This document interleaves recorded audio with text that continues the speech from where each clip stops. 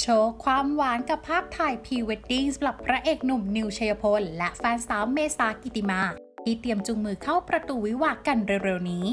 หลังจากที่เมื่อช่วงเดือนมิถุนายนที่ผ่านมาทำเซอร์ไพรส์ขอแต่งงานกันริมทะเลกันไปแล้ว โดยล่าสุดปล่อยภาพพรีเวดดิ้งที่ทั้งคู่ไปถ่ายกันที่เขาใหญ่ แถมยังเก็บบรรยากาศเบื้องหลังภาพสุดโรแมนติก งานนี้ต้องบอกเลยว่าอ่อนล้าเจ้าเป่าเจ้าสาวพุ่งสุดๆ ซึ่งก็มีแฟนๆ ต่างชื่นชมในความหล่อสวย และร่วมแสดงความยินดีกับทั้งคู่กันอย่างล้นหลามเลยล่ะค่ะ